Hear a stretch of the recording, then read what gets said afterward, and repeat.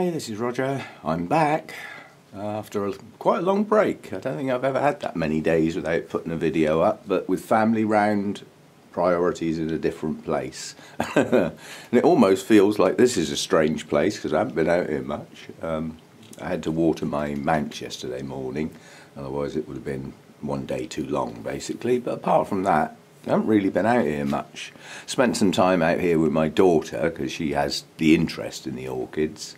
Um, rest of the family don't. That's uh, up to them. But um, I think there's one new thing out here. There's, there's quite a bit starting to go over now. Um, we'll just have a quick look round. The plan is today I'm actually going to film the um, resting dendrobiums and have a chat about how they're doing, how their rest is progressing.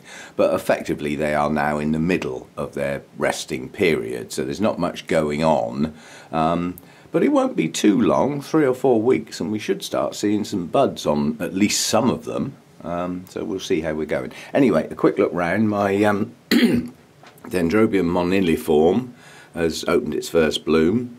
Um, this is strange actually because the Dendrobium moniliforme, not the variegated kind, the normal kind, is classed as the plant that is typical for the genus. Um, well, yes and no. I'm not sure I agree with that, but uh, anyway, that's that's this is the one apparently. Um, there's more buds to come. There's quite a few. The trouble is with this one, it does do keikis.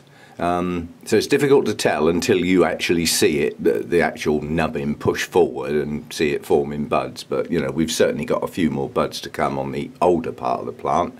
And the latest two new growths also have some uh, what are hopefully buds showing. So we should have quite a few blooms on that in uh, in the near future.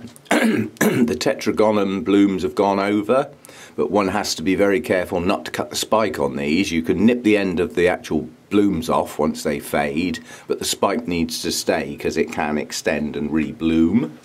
So take care if you've got one of those. Um, my little Aerangis fastuosa, the two spikes on that are pushing on. That reliably pushes up two spikes a year, has been doing it for some years, but it now has a second plant attached to the base. Uh, you could call it a keiki if you like, or a plantlet, um, but it's now effectively two plants, and the second plant should mature enough this year to bloom the following year, so hopefully more spikes on that one in future years. Um, I was asked a question about the um, twinkle that I got from Riddlington, are the blooms larger than the normal twinkles? Well, effectively, this isn't a twinkle, it's a hybrid. It's a twinkle crossed back with Sotoanum, which is one of the parents. So the blooms would naturally be a little larger. Blooms on Sotoanum are larger than twinkle blooms, although incredibly similar. Um, Rhodostictum still hanging in there. That, that'll be there for months.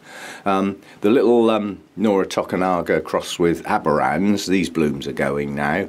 So uh, be looking for new growths on that soon, hopefully. that'll be good. Um, the Cattleya cernua, blooms are going now. Got nowhere near as many spikes left. Um, this Tolumnia thingy, Golden Summit or other, always forget this one. Oh, I haven't got a tag on it either. It's um, oh, something like golden sunray or something like that. But um, these are branches effectively. This is where the main spike was. That's been trimmed back. And these are branches, and where I trimmed the main spike back, it's branching again. So uh, again, don't cut your twinkle spikes until you're absolutely sure they've turned a sort of straw colour and started to die back. They may well branch. And what is still outstanding is this Cattleya Angel Heart is still in bloom. Um, the spike up the back there, the first bloom opened on that on the 25th of October. It's still there. I don't think I've ever had a Cattleya last that long.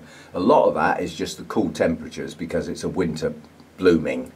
Um, but given that this spike didn't open till about a month after that one. We've got this one for a long, long time. Um, and it's good, you know, because this is a quiet time of year. There's other buds coming on Cattleyas, um, that sheath splitting. Um, there's two, two sets of buds coming up on that plant. There's others. Um, the um, Brassocattleya Laelia, I'll get there in a minute, Make, that, that's the buds are pushing up and starting to show, you know, proper bud shapes, so they'll be out in the not too distant future. My two Dendrobium Spring Dream Apollons have both got good sized swelling buds on them now, so we should have some nobile buds soon, a little out of season.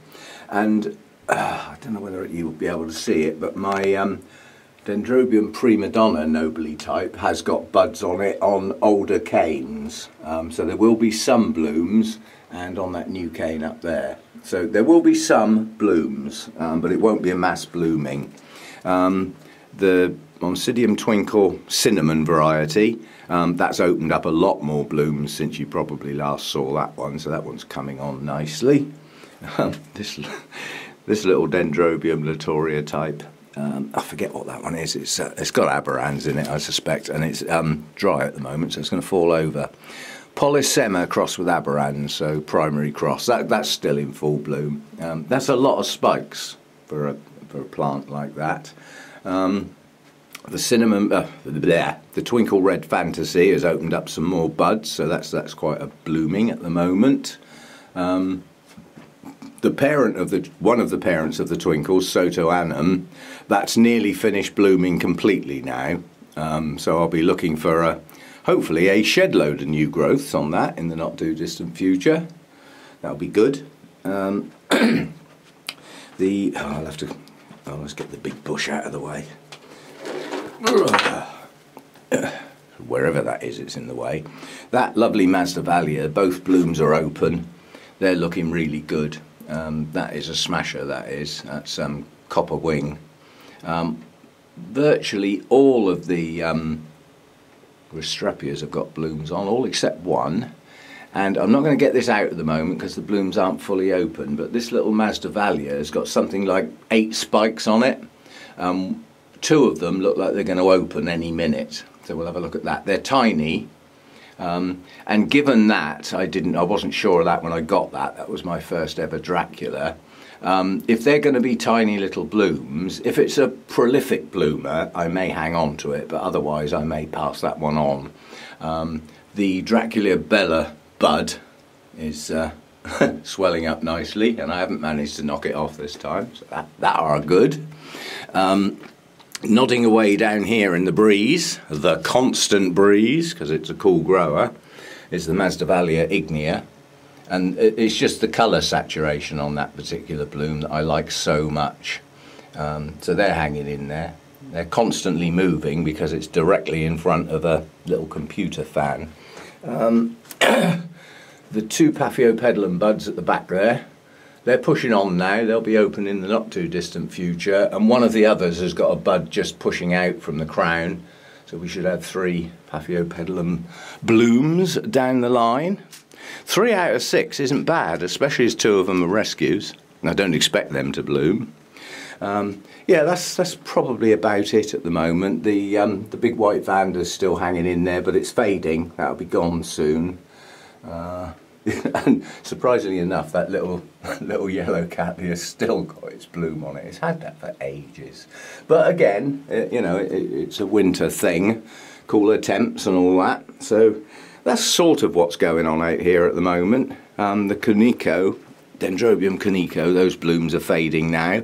But I was surprised that bloomed in the first place. I'm more interested in this bit of the plant, all these new growths, and they're still growing. That's the bit I'm interested in. The blooms were a bonus.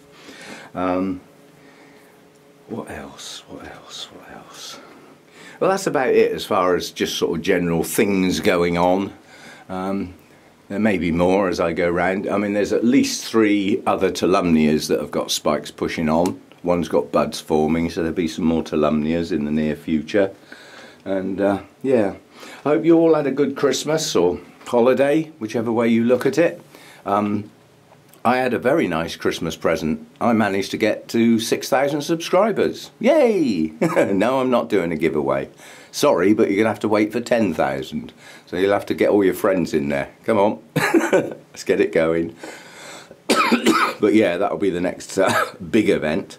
But um, yeah, I mean, it was, I think it was September time I hit the 5,000. So it's progressing quite nicely. I'm pleased with the progress. And um, I made a major mess up with my Facebook idea. I actually created a new Facebook account and left that as the actual item for you all to see. And boy, did I get myself in a mess. What I didn't appreciate was that. Um, when you get a friend's request on Facebook like that, and you, you, you know, I just go through and confirm those. I'm not selective. If somebody puts in a friend friend request, it is confirmed. But what I didn't appreciate it is once that happens, all the posts from that person's page start coming on your page. Now, this might sound harsh, but it's the only practical way to do it because I don't want to see other people's family and friends and outings to Auntie Flo's and all that sort of stuff. It's supposed to be an orchid Facebook page. Um, but the way to stop it is to unfollow those people. Um, and basically I had to go through nearly 300 odd and, and, do that individually. There's no sort of bulk way of doing that. But now it's under control because as any new friend requests that come in, I can confirm them and unfollow them in one go. So I'm on top of it now. Um, plus, thanks for anybody who's actually put genuine posts on there that they've physically decided to put on that page. Those are the ones I'm after, the orchid related stuff. And I've finally got round to sort of putting some answers in some of those because some were problem plants and questions. And that's what I wanted it for.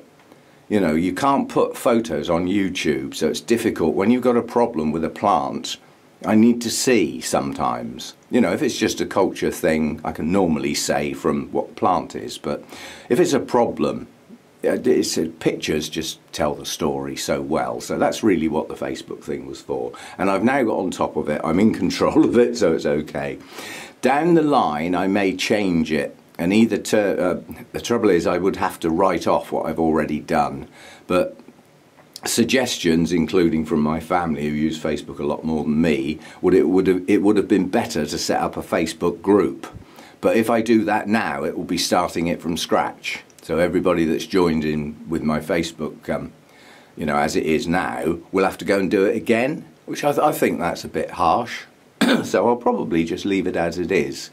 And the other alternative would have been to set up a Facebook page attached to my account but I think I've gone too far and left it too late. So it'll probably just stay as it is, and you know, I'll keep on top of it. That's the easy way. Oh, and a couple of thank yous as well. Got a couple, some Christmas cards from YouTubers. I was over the moon. So thanks to Lena, that's the um, lady who sent me the yellow Miltoniopsis, which hopefully is going to bloom soon.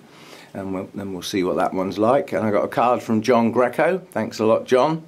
Hope you're doing okay because you've disappeared from YouTube, um, which is can be a trifle worrying to us who don't know what's going on. Um, anyway, hi, hope you had a good break. Although knowing the job you do, you were probably working most of it. Um, but I hope you're okay, everything's okay, and your orchids are doing well. And uh, all is good in Barcelona, as they say. So, uh, yeah, a couple of thank yous there. And um, as I say, I'll leave this one at that. That's just some thank yous and basically what's going on. And the next video I'm hoping to do is, is take a, a, closer look at the resting dendrobiums as an item, you know, just a, a specific video for those, including some of those that ought to be resting and perhaps aren't for certain reasons. You know the one I mean. anyway, hope you had a good time and uh, I'll see you in the next video. Thanks for dropping by. Bye for now.